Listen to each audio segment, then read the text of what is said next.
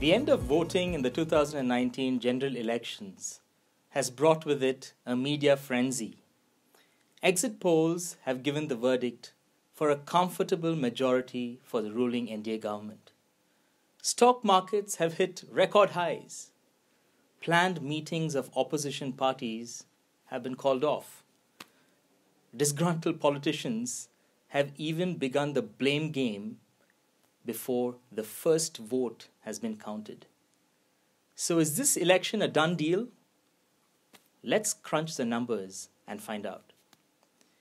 Axis My India has done the most extensive exit poll for 2019, and they've provided projections for every one of the 542 seats that have gone to the polls. Here's a look at their track record of accuracy in calling elections in India.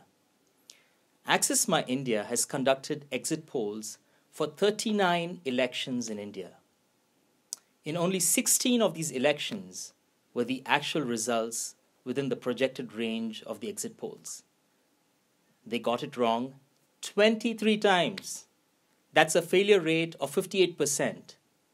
What about AC Nielsen? They have got it wrong 75% of the time.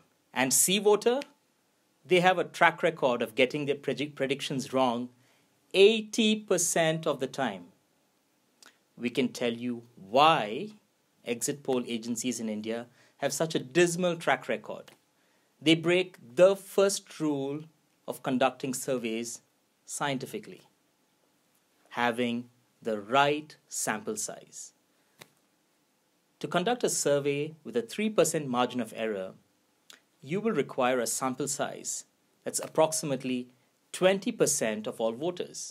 So for 2019, that would require interviewing 12 crore voters for a survey with a 10% margin of error, which is far too wide for elections. You will require a minimum sample size of at least 2% of all voters, or 1.2 crore voters. And how many voters did Axis My India interview? They interviewed 7 lakh voters, or 0.1% of all voters. Let's break that down to context so that you, a voter, can relate to. Do you remember the polling station that you voted in for this election? If Axis My India had interviewed you after you voted, your opinion alone would have counted for more than 1,000 people in your constituency. Basically, you can predict the election results with greater accuracy by flipping a coin than by looking at the exit polls. No one knows with any certainty how the results will turn out, not even Axis My India. Now, they may get it right, but the numbers say that they are more likely to get it wrong. So relax. There is no spoiler alert. Tune in tomorrow and watch the end game.